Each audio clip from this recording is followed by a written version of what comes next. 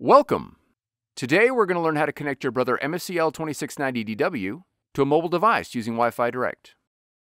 This video will cover multiple models and operating systems. Even though your machine may not match the model on the screen, the overall process will be the same.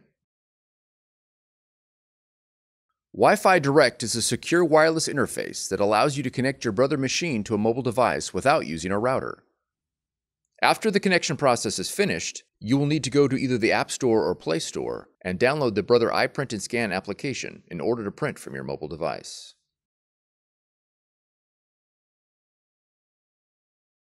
To begin, press the menu key on the control panel.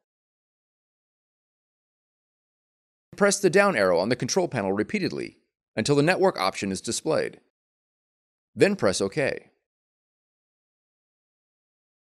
Arrow down again until Wi-Fi Direct is displayed.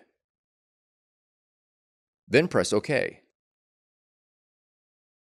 Arrow down to the manual option. And again press OK. If you're prompted to activate Wi-Fi Direct, press the up arrow. The network name and password for the direct connection will display for two minutes.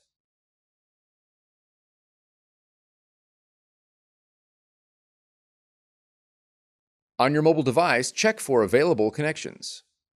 Select the network displayed on your Brother machine.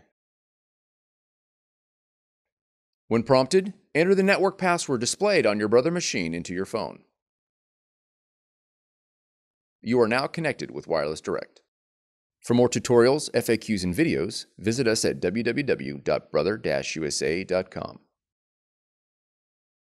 If you found this video helpful, be sure to subscribe. Thank you for choosing Brother.